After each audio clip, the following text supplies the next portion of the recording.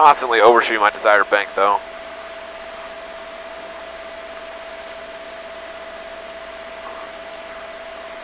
Jason's probably hating life right now. Yep.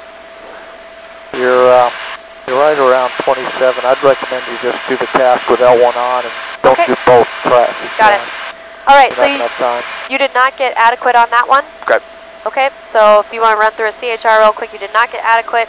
So we're starting in, Can I get L1 on as we do the uh, scoring, please? yep. There's your sorry. answer. There's your answer, right? All right, L1's coming on in three, two, one. Now L1 is on. Thank you. Rush, if you didn't ask, I was gonna.